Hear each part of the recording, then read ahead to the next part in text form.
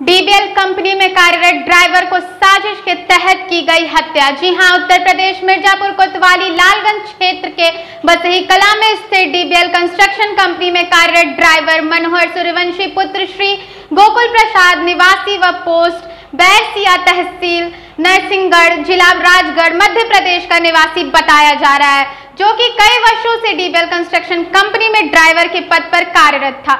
जो कि दिनांक 31 मई 2021 को जीबीएल कंपाउंड में पलाई का बना रूम नंबर 141 में रहता था।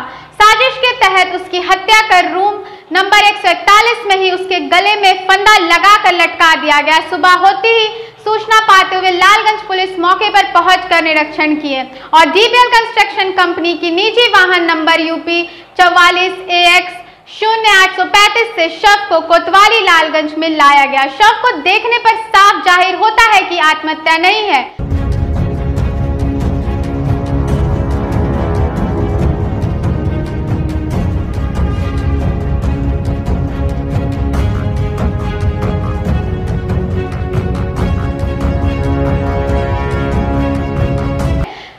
जो कि डेथ बॉडी का दाहिना पैर टेढ़ा है, आत्महत्या होती तो दोनों पैर सीधा होता। डीबीएल कंपनी के कार्यकर्ता द्वारा कहा जाता है कि शव का पैर कुर्सी से टच था। अगर कुर्सी से टच था तो मौत कैसे हो गई? इसी कारण ज़ाहिर होता है कि मृतक मनोहर सूर्यवंशी का आत्महत्या नहीं हुआ है।